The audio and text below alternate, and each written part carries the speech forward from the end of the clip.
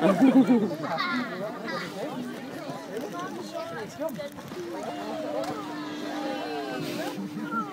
can see, the seals are very good jumpers, and that's because they've got very muscly hind flippers, which they use to propel themselves through the water. And they also have a very streamlined torpedo-like shape, which means they can move through the water very easily. You see that? The girls are, uh, sorry, the boys are a little bit more better at jumping compared to the girls, because they're a bit more muscly.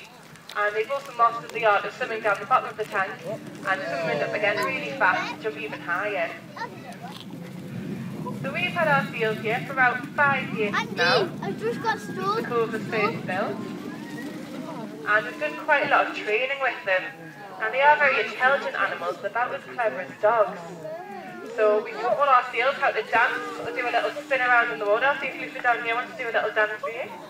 Yeah? Aww. So basically train them using a method called positive reinforcement, which means that we'll give them a visual and vocal command and tell them something to do. And then as soon as they do